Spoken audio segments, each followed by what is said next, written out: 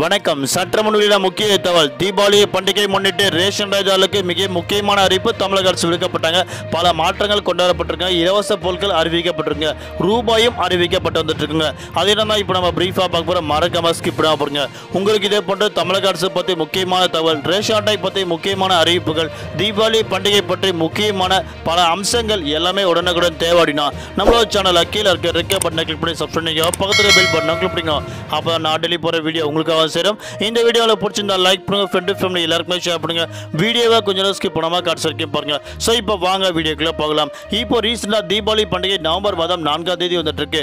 இந்த நவம்பர் மாதம் நான்காம் தேதி தீபாவளி பண்டிகை வருவதனையொட்டி நவம்பர் மாதம் ஒன்று முதல் நவம்பர் மாதம் மூன்றாம் தேதி வரை காலை எட்டு மணி முதல் மாலை ஏழு மணி வரை திறக்க சொல்லி தமிழக அரசு அனுமதி கொடுக்கப்பட்டாங்க.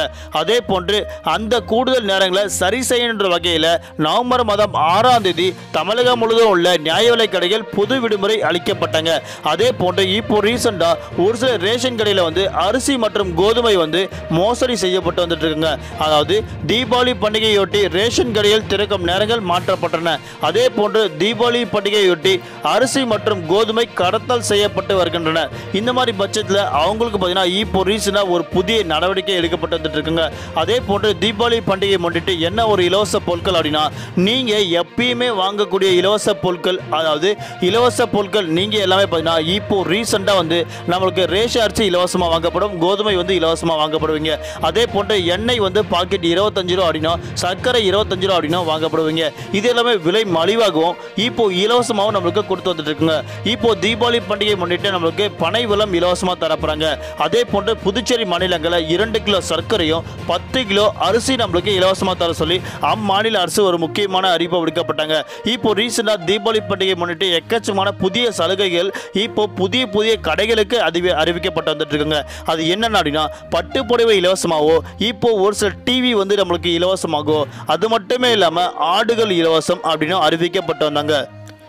இந்த தீபாவளி பண்டிகை முன்னிட்டு இப்போ ரீசனாக ஃப்ளிப்கார்ட் மற்றும் அமேசான் அந்த வெப்சைட்டில் பார்த்தீங்கன்னா நீங்கள் வந்து ஒரு பொருட்கள் வாங்கும்போது அந்த பொருட்களோட விலை வந்து ரொம்ப மலிவாக தீபாவளி முன்னிட்டு பல ஆஃபரும் வழங்கப்பட்டு வந்துட்டு இருக்காங்க. இப்போ ரீசெண்டாக பார்த்தீங்கன்னா ரூபாய் இரண்டாயிரம் நம்மளுக்கு தீபாவளி முன்னிட்டு தரப்படுவலாம் பார்க்கலாம். அதாவது இப்போ ரீசனாக தீபாவளி முன்னிட்டு நவம்பர் மாதம் மற்றும் டிசம்பர் மாதங்களில் பிஎம் கிசான் திட்டம் மூலிமா அவங்க வந்து பார்த்தீங்கன்னா விவசாயிகளுக்கு ரூபாய் இரண்டாயிரம் தரப்படுறாங்க. அதனால நீங்கள் என்ன வாங்க பார்த்தீங்கன்னா கன்ஃபார்மாக இந்த மாதம் இல்லைனா அடுத்த மாதம் நீங்கள் கன்ஃபார்மாக வாங்கிக்கலாம். அதாவது நவம்பர் மாதம் அல்லது டிசம்பர் மாதங்களில் நீங்கள் கன்ஃபார்மாக வாங்கிக்கலாம்.